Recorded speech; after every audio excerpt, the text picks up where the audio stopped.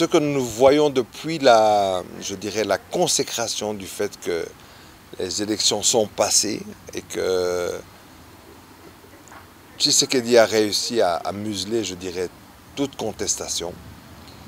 C'est comme si tout d'un coup il avait les, mains libres, mais maintenant qu'il a les mains libres, peut-être il y a des pressions de certaines capitales occidentales qui lui demandent maintenant aussi de, de, de passer à quelque chose de plus constructif. Et que je crois que vis-à-vis de cela, euh, une technique, je dirais classique, c'est de, de faire croire qu'il y a aussi la rue maintenant qui, qui n'accepte pas euh, cette euh, interférence, je dirais, occidentale dans les conseils que fait l'Occident sur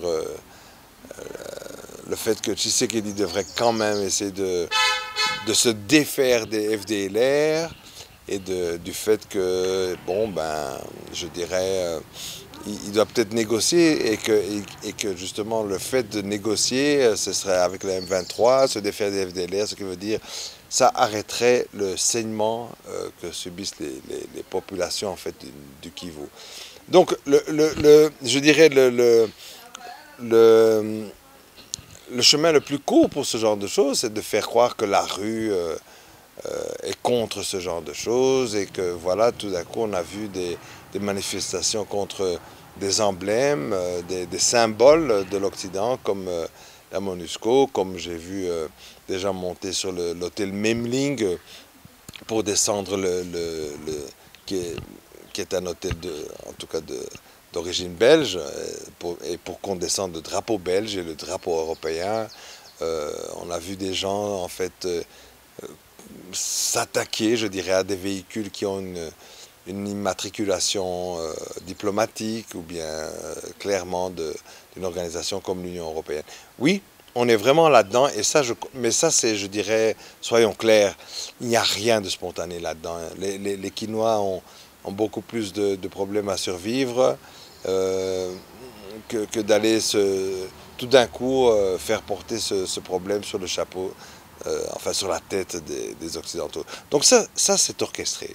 Et je crois que c'est parce que plusieurs capitales occidentales maintenant et organisations sont en train de mettre la pression sur peut-être euh, qu'ils n'avaient pas fait avant, sur Tshisekedi en lui disant qu'il faut être quand même raisonnable maintenant que les élections sont passées. Ça, c'est mon interprétation euh, à première vue.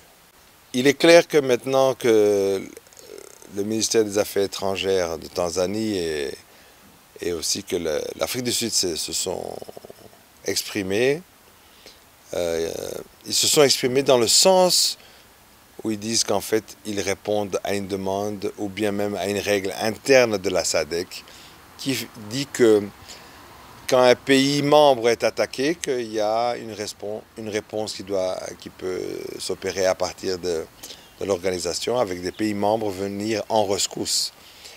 Ce que l'on voit néanmoins, c'est le fait que qu'on n'a pas eu droit au même scénario pour le Mozambique, qui a souffert euh, d'une attaque euh, islamique, euh, terroriste islamique, je dirais.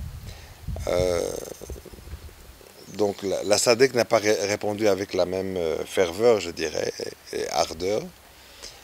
Et ce n'est qu'après euh, l'intervention du Rwanda, sur, demande du Mozambique, que la commencé, s'est mise en route aussi pour contrer et aider le Mozambique. Et d'ailleurs, entre-temps, l'Afrique du Sud a pratiquement quitté ces lieux-là. Et pourtant, c'est ce que je disais en introduction, c'est qu'aujourd'hui, ils déploient, et ils annoncent qu'ils vont encore déployer plus, en République démocratique du Congo.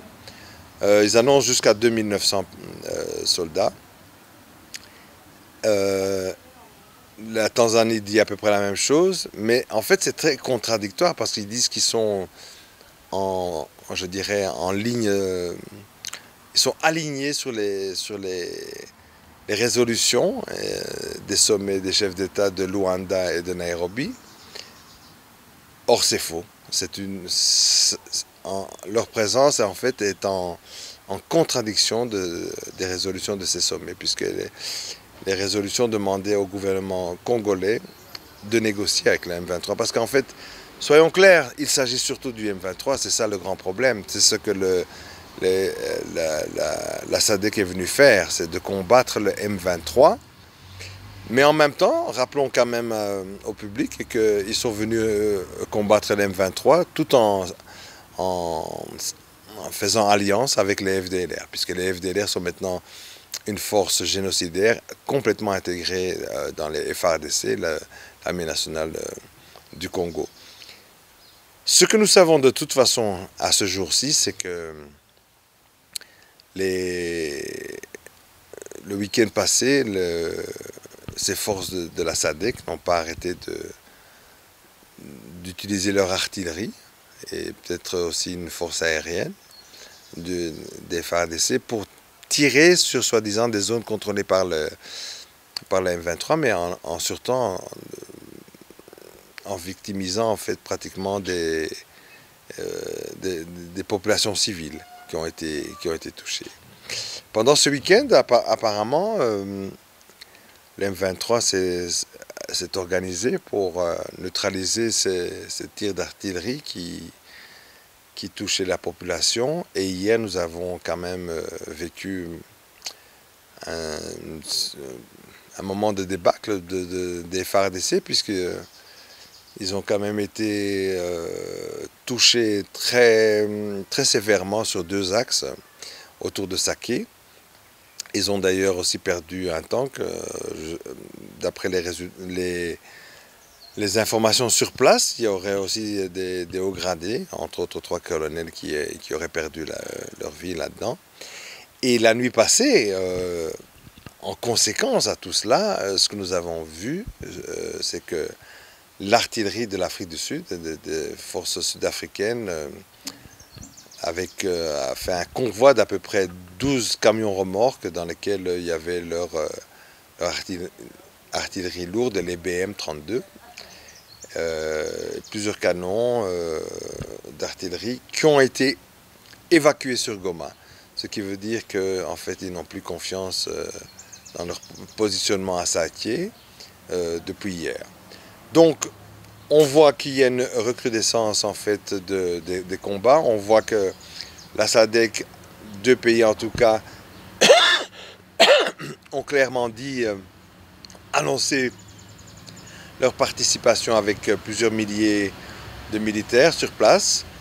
Et c'est clair que c'est pour combattre la M23, donc c'est en contradiction complète avec les sommets des chefs d'État de Luanda, de Nairobi et des résolutions euh, demandées par l'Union africaine.